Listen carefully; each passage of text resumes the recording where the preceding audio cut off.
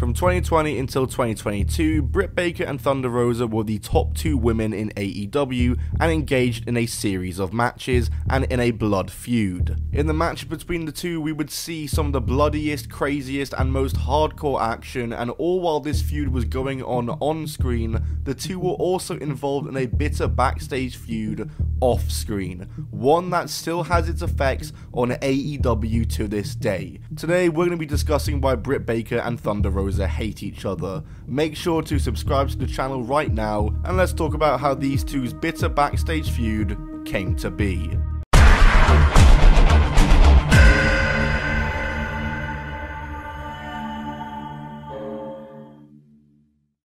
Britt Baker was the first woman signed to AEW other than Brandi Rhodes, before AEW had even ran their first show in 2019, Britt had wrestled at the All In pay per view in 2018, and she would make her debut for AEW on AEW's first ever show, Double or Nothing 2019, where she defeated Kylie Rae, Nyla Rose, and Awesome Kong in a four way match. Britt Baker would begin on AEW TV as a babyface, but while it started off well, she would very quickly begin to get stale in her babyface role, and at the beginning of 2020, she would turn heel, and Britt Baker as a heel would very quickly catch on in AEW. And going Going into the pandemic era of AEW, Britt Baker would be a regular on AEW Dynamite and she would cut a promo nearly every single week. In May of 2020, she would suffer an injury leaving her out of action for a couple of months, but once again, it didn't stop her from appearing on AEW Dynamite every week, often cutting a promo and being involved in storylines. She had become the top heel woman in the company leading up to her return at All Out 2020, and she hadn't even wrestled. And her return into in-ring competition at All Out 2020 was of course against Big Swole in a tooth and nails match, which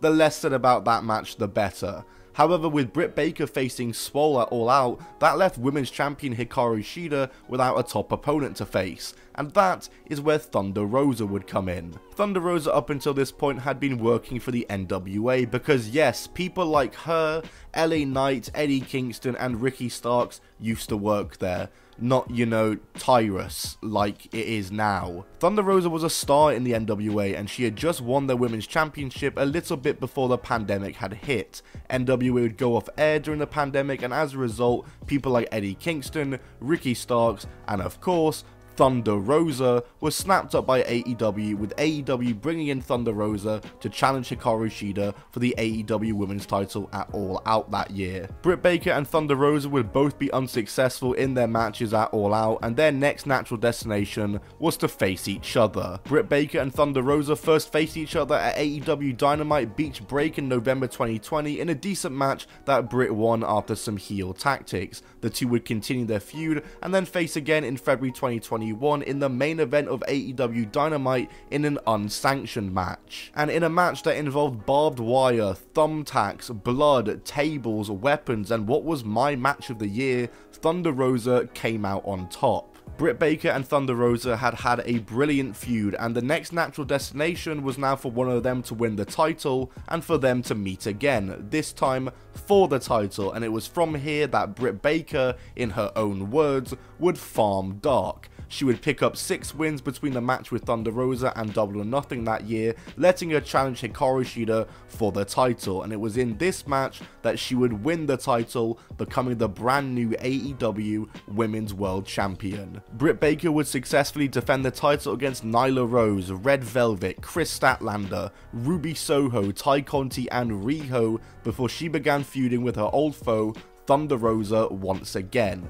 The two would face at Revolution 2022, with Baker winning and retaining the title with help from her friends, much to the confusion of many. But then a month later, Thunder Rosa beat Britt Baker in a steel cage match from Dynamite in San Antonio, where she got a massive reaction because that's where she's based, and it was the right call in the end. And Thunder Rosa was your new champ. Thunder Rosa's reign though was unfortunately less than stellar though. She had some decent matches though, she beat Nyla Rose to retain the belt at Battle of the Belts, and then Serena Deeb at Double or Nothing 2022, but she was hardly ever on TV, and that was the main issue and then came her match with Marina Shafir. They wrestled on the 8th of June 2022 Dynamite, and during this match Thunder Rosa was seen visibly sandbagging, something that fans and wrestlers including Britt Baker would notice, and this was where tensions between Britt Baker and Thunder Rosa were first really put publicly, when Britt liked to tweet criticizing Thunder Rosa's sandbagging. Thunder Rosa and Marina Shafir would make amends, but that didn't stop Britt from taking this photo, and reports backstage backstage heat around Thunder Rosa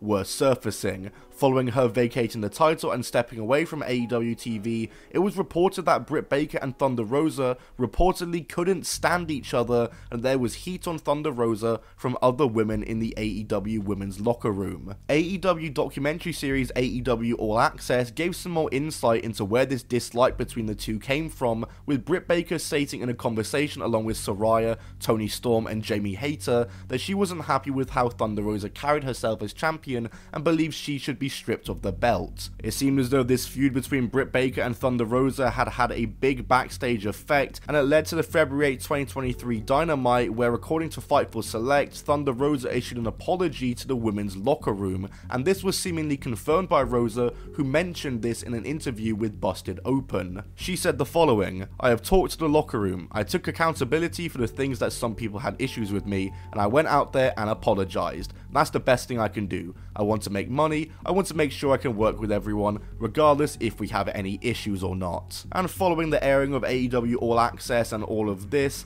things would go quiet and there was no real stuff regarding Thunder Rosa and Britt Baker, mainly due to the fact that Thunder Rosa is still injured and isn't on TV, so there was nothing to be taking place, and nothing to report on, or so it seemed. That was until independent wrestler Lufisto would release a statement on Twitter detailing her backstage experience she had working a date for AEW in spring of this year, and in this thread, she wrote this part in particular, which adds to the confusion even more had a one hour phone call with a current AEW talent. The women who actually addressed the problems I did today were the ones sent home by Tony Khan. There was a meeting to shoot on Thunder Rosa that Khan attended. Before leaving, he reminded them that their segments were the lowest. When some girls arranged a meeting to talk about Baker's crew, one of them ran to Britt to let her know. The girls that wanted to address the problem were the ones punished. And this just even further muddied the waters and made it for even more confusion regarding the situation, but the AEW roster were very quick to respond, and Britt Baker herself responded by stating that the meeting being referenced was a meeting put together by Thunder Rosa herself to clear their air. This could possibly be the meeting that was reported back on in February, or an entirely different one that was never made public, but regardless, it's all still very, very confusing, and nothing is very clear. But regardless, as of right now, Thunder Rosa is still injured and off TV, and Britt Baker is set to wrestle at All In at Wembley. Whether these two meet in the ring again remains to be seen, but with Thunder Rosa appearing on the debut episode of Collision and Britt Baker being a Dynamite regular, it may be a sign that that might be quite unlikely. And speaking of signs, come see the top 10 wrestling sign in WrestleQuest. WrestleQuest just dropped on all consoles. It's an RPG wrestling game. It's awesome, and they were nice enough to put a top 10 wrestling sign in the game. And uh, I still haven't found it. Like WrestleQuest, do you want to give me a clue where it is? I'm, I'm kind of on a quest to find this sign in the game, and so far I've played the game for 3 hours. I've completed many a quest, and I've made a name for myself in the Boxwood wrestling scene, but my main goal is finding that damn sign, and I still haven't. I'm going to keep you guys updated on my journey in the next couple of videos because I feel like this might take me a while and if you want to find my sign before I do and beat me to it, then check out the link below to get WrestleQuest for yourself. It's on Steam, it's on all consoles and honestly, I am addicted to it. But that's it from me and I'll see you guys all in the next video.